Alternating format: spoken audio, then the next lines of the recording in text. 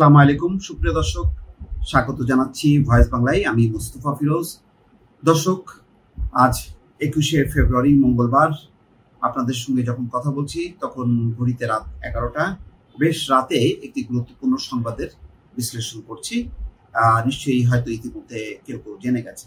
সেটি হচ্ছে মস্কোয় বাংলাদেশের রাষ্ট্রদূতকে তলব করা হয়েছে এবং এই তলবের কারণ আপনারা জানেন যে নিষেধাজ্ঞা পাওয়া রাশিয়ার জাহাজটি কেন বাংলাদেশে ভিড়তে দেওয়া হয়নি এই ব্যাপারে রাশিয়া ক্ষোভ প্রকাশ করেছে এবং প্রতিবাদ জানিয়ে মস্কো নিযুক্ত বাংলাদেশের রাষ্ট্রদূত কামরুল আহসানকে তলব করে আনুষ্ঠানিকভাবে প্রতিবাদ জানিয়েছে। দর্শক, এই যে আনুষ্ঠানিকভাবে প্রতিবাদ জানানোর একটি প্রতিক্রিয়া আছে এবং রাশিয়া শুরু থেকেই বোঝাই যাচ্ছিল যে এই ঘটনাকে তারা স্বাভাবিকভাবে নিবে না। রাশিয়ার সঙ্গে বাংলাদেশের একটি চুক্তি আছে। সেটি হচ্ছে রূপপুর পারমাণবিক বিদ্যুৎ কেন্দ্র স্থাপন এবং সেই চুক্তি অনুযায়ী দুই চব্বিশের মধ্যে এটি নির্মাণ কাজ শেষ হওয়ার কথা। এখন ওই রূপপুর পারমাণবিক বিদ্যুৎ কেন্দ্রের যে সরঞ্জাম, সেই সরঞ্জাম নিয়ে আসার কথা ছিল বাংলাদেশে। কিন্তু হঠাৎ করেই যখন নাকি একেবারেই বাংলাদেশ অভিমুখে রওনা দিয়েছে এবং কাছাকাছি থাকা অবস্থায় বাংলাদেশের পক্ষ থেকে না করা হয় বলা হয় যে যেহেতু মার্কিন নিষেধাজ্ঞা আছে, সুতরাং এই জাহাজটি ভিড়তে দেওয়া যাবে না।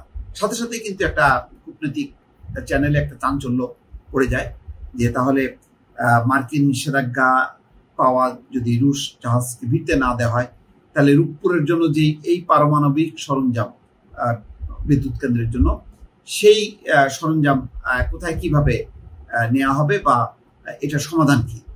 পরে দেখা গেল, দর্শক আপনারা জানেন যে এই রূপপুর পারমাণবিক বিদ্যুৎ কেন্দ্রের জন্য যে সরঞ্জামবাহী যে জাহাজটি, নিষেধাজ্ঞা পাওয়া, সেটি ঘুরে ভারতের কলকাতার হলদিয়া বন্দরে সেটি ভেড়ার অপেক্ষায় থাকে এবং ধারণা করা হচ্ছিল সেখানে হয়তো বিদ্যুতের যে সরঞ্জাম, সেগুলি খালাস করা হবে এবং সেখান থেকে হয়তো সড়ক পথে আনা হবে বাংলাদেশে। কিন্তু পরে দেখা যায় যে সেই জাহাজটি হলদিয়া বন্দরেও ভারত রাজি হয়নি, ভিড়তে দেয়নি। পরে চোদ্দ দিন অপেক্ষা করে সেই জাহাজটি ফিরে যায়। পরে অন্য একটি নিষেধাজ্ঞার বাইরে অন্য একটি জাহাজে করে সেই মালামাল আসে। কিন্তু এই ঘটনাটা কিন্তু রাশিয়া এটা ভালোভাবে নেয়নি এবং আনুষ্ঠানিকভাবে তারা প্রতিবাদ জানিয়েছে। দর্শক, আমি ঠিক কি বলেছে বা কি হয়েছে আমি যেই রিপোর্টটি ইতিমধ্যে গণমাধ্যমে এসছে, আমি আপনাদের কাছে সেটি বলি। বলা হয়েছে, মস্কোয় নিযুক্ত বাংলাদেশের রাষ্ট্রদূত কামরুল আহসানকে তলব করেছে রাশিয়ার পররাষ্ট্র মন্ত্রণালয়। পশ্চিমা নিষেধাজ্ঞার আওতায় থাকা রাশিয়ার জাহাজগুলো বাংলাদেশের বন্দরে ভিড়তে না দেওয়ার সিদ্ধান্তের প্রতিবাদে তাকে তলব করা হয়েছে। আজ মঙ্গলবার রাশিয়ার পররাষ্ট্র মন্ত্রণালয় এক বিবৃতিতে এই তথ্য জানিয়েছে। অর্থাৎ আজকেই একুশে ফেব্রুয়ারি তারিখেই তারা আনুষ্ঠানিকভাবে এই তলবের বিষয়টি তারা জানিয়েছে। বিবৃতিতে রাশিয়ার পররাষ্ট্র মন্ত্রণালয় বলেছে, তারা বাংলাদেশের রাষ্ট্রদূতকে জানিয়েছে, বাংলাদেশের ওই পদক্ষেপ দুই দেশের ঐতিহ্যগতভাবে বন্ধুত্বপূর্ণ দ্বিপক্ষীয় সম্পর্কের সঙ্গে মানানসই নয়। এছাড়া তা বিভিন্ন ক্ষেত্রে সহযোগিতার সম্ভাবনার উপর বিরূপ প্রভাব ফেলতে পারে। দর্শক, খেয়াল করবেন। অর্থাৎ এই ঘটনাটা তাদের রাশিয়ার সাথে বাংলাদেশের যে বিভিন্ন বিষয়ে বাণিজ্য এবং অন্যান্য চুক্তি আছে বা সম্পর্কের যে চুক্তি, তার উপর একটা বিরূপ প্রভাব ফেলতে পারে। তো এই কথার গভীরতা বা তাৎপর্য অনেক ব্যাপক বিস্তৃত। কীভাবে সেই বিরূপ প্রভাবটা পড়বে সেটি নিশ্চয়ই পরবর্তীতে জানানো যাবে এবং দেখার বিষয় যে ঢাকা এই তলবের বিষয়টা কীভাবে মোকাবেলা করে। এখানে রিপোর্টে বলা হয়, ঢাকা ও মস্কোর কূটনৈতিক সূত্রগুলোও রাশিয়ায় নিযুক্ত রাষ্ট্রদূতকে রাষ্ট্রদূতকে তলবের বিষয়টি নিশ্চিত করেছে, তবে তাৎক্ষণিকভাবে এই বিষয়ে বিস্তারিত জানাননি তারা।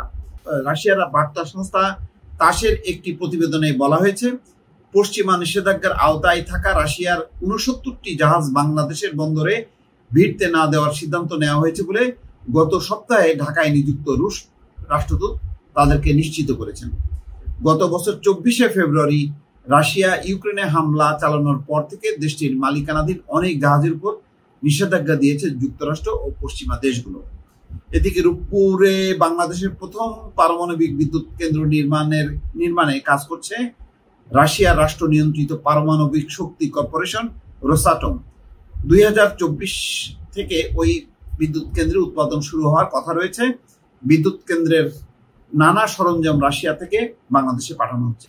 দর্শক, আপনারা জানেন যে বাংলাদেশের পররাষ্ট্রমন্ত্রী কিন্তু কিছুদিন আগে একটি মন্তব্য করেছিলেন। সেখানে বলেছিলেন যে রাশিয়া ইচ্ছাকৃতভাবে নিষেধাজ্ঞায় থাকা জাহাজগুলো বাংলাদেশে পাঠিয়েছে। অর্থাৎ এখানে এক ধরনের বিরক্তি প্রকাশ করেছে যে রাশিয়া ইচ্ছাকৃতভাবে এই জাহাজগুলো পাঠিয়ে বাংলাদেশকে একটা ঝামেলার মধ্যে ফেলেছে।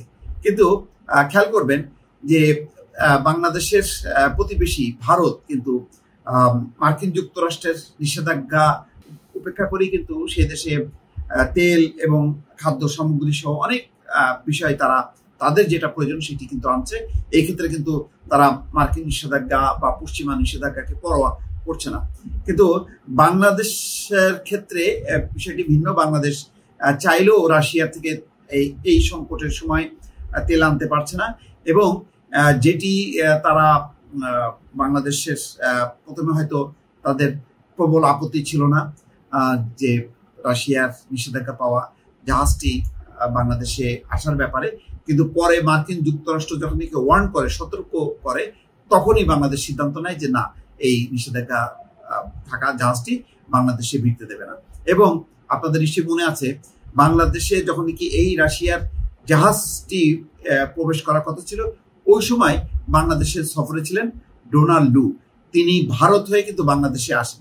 ফলে দেখা যাচ্ছে যে একই সঙ্গে বাংলাদেশ যেমন না করেছে, যে ভিড়তে দেওয়া হবে না রাশিয়ার নিষেধাজ্ঞা পাওয়া জাহাজটি তারপর পরই ভারতও না করে দেয় যে না, এই নিষেধাজ্ঞা থাকা এই জাহাজটি ভিড়তে দেওয়া হবে না।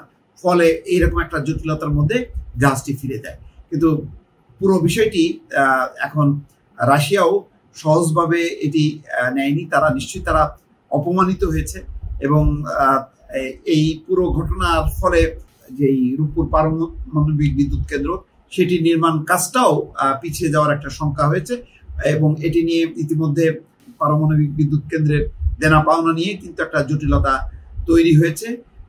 রাশিয়া চাপ দিচ্ছে যে রুবেলে এই দাম পরিশোধ করতে হবে, কিন্তু বাংলাদেশের পক্ষে সেটি সম্ভব নয় এবং এই ব্যাপারে কয়েকদিন আগে নিশ্চয়ই আপনারা দেখেছেন যে বাংলাদেশ থেকে একটা প্রতিনিধি দল রাশিয়ায় যাওয়ার কথা এই বিষয়ে জটিলতা যেটি তৈরি হয়েছে সেটি নিরসনের জন্য। কিন্তু পুরো পরিস্থিতি আজকে যেটি রাশিয়ার এই আনুষ্ঠানিক প্রতিবাদের পর জিনিসটি আরও একটা জটিল রূপ নিল। এখন দেখার বিষয় বাংলাদেশের পররাষ্ট্র মন্ত্রণালয় বা সরকারের পক্ষ থেকে এই বিষয়ে কি পদক্ষেপ নেওয়া হয়। দর্শক, আজ এ পর্যন্তই। ভালো থাকবেন। আল্লাহ হাফিজ।